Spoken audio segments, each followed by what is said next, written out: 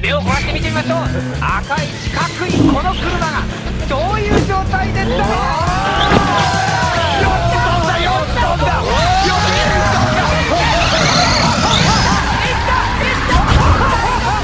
車体の下から向こうが抜けて車体の下から向こうがいや向こうが見えた車体の下から向こうが抜けて見えた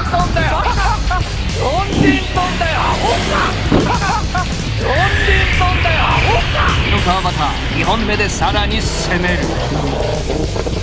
本目は70点台ちょっと失敗をしました。ああああ危ない。うわギリギリ。とんでもないところをギリギリ来た。いやーびっくりした。なんだそれ。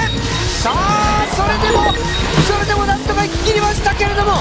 どちらかといえばこれも壁当たるギリッギリだこれあ当たってるか。だってシップしてますね。いやここまで持ってきたですよねすごいんじゃないですかでも。昨日担当で100点出したのはこの男だけ。どういう走り100点の走り見せてくれるのかどうか。さあ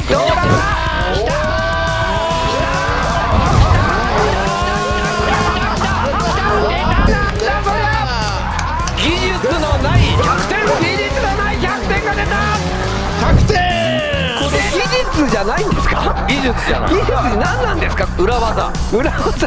90で越してるねですよね。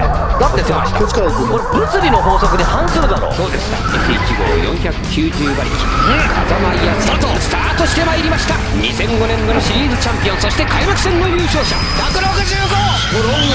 100m ロングできた